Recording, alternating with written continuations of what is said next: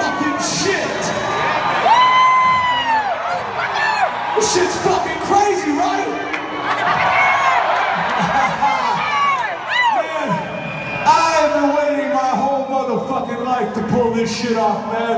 Everybody say hello to the fucking Crüecifly.